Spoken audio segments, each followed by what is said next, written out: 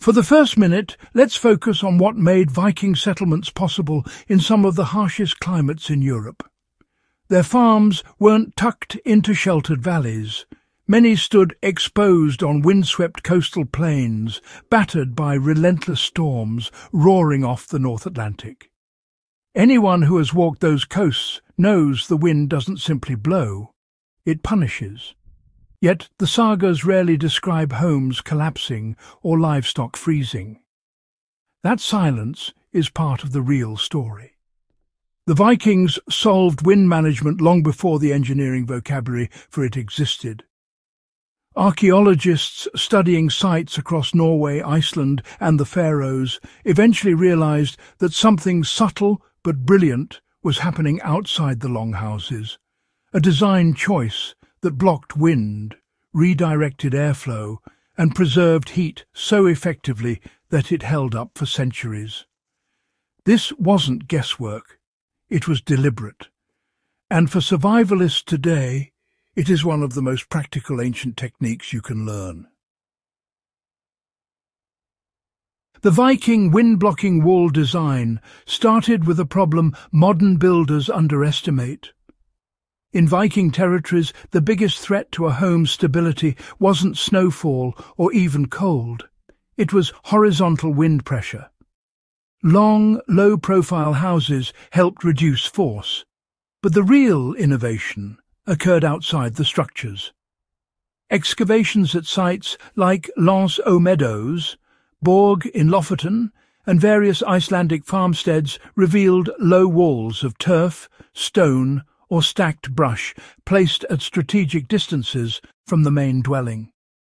For years, these were dismissed as livestock pens or random debris boundaries, but airflow studies and soil patterning eventually proved they formed intentional wind traps. Unlike modern windbreaks designed to block wind outright, Viking barriers redirected it. The walls disrupted velocity before the air struck the house, forcing the wind to rise and lose energy. This prevented uplift, reduced pressure on the roof, and kept smoke vents functioning. These walls were not decorative and they were not improvised. They followed consistent patterns, height between waist and chest level, set several steps from the structure and positioned on the side facing prevailing winds. They were carefully maintained, packed tightly, and in many cases extended seasonally depending on storm cycles. The strength of the design came from the way Vikings used layers to control airflow. A single wall alone couldn't tame Atlantic storms, so Viking builders created a layered barrier zone. First came a dense wall of turf or stone that acted as a primary buffer. Outside of that, many sites show remnants of brush fencing or woven branches, forming a semi-permeable outer shell. Instead of trying to resist the full force of the wind, this layered approach slowed it down in stages. By the time the wind reached the longhouse, it no longer had the force to lift thatch or push smoke back through interior vents. This technique still works, Modern fluid dynamics confirms that a porous first barrier dissipates wind stress more effectively than a solid wall. The Vikings achieved this instinctively through centuries of observation. They watched how snow drifted behind bushes, how wind bent grasses around boulders, and how airflow changed when cattle congregated near turf mounds. Their solution was not only functional, but durable. Turf walls held moisture and resisted rot. Brush fences, even when worn, could be replaced easily.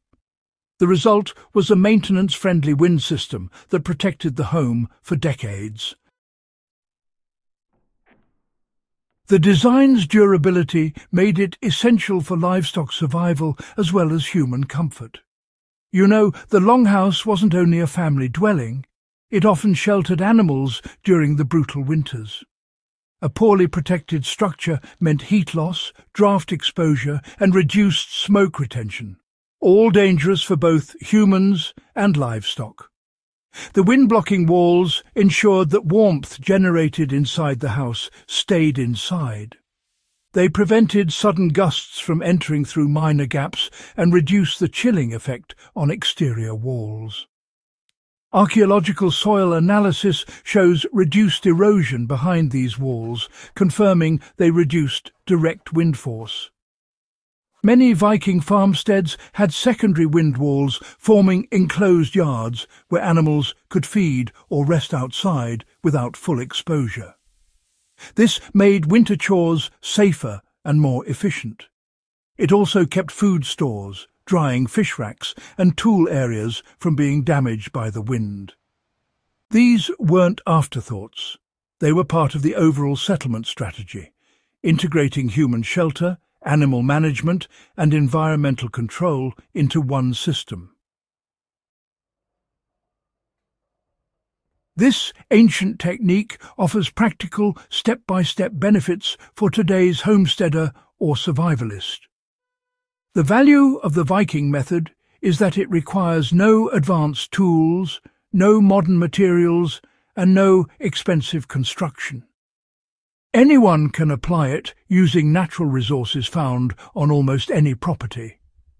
The process begins by identifying the prevailing wind direction, something you can confirm simply by observing tree-lean, consistent snowdrift directions, or the way smoke travels from a fire on calm versus breezy days.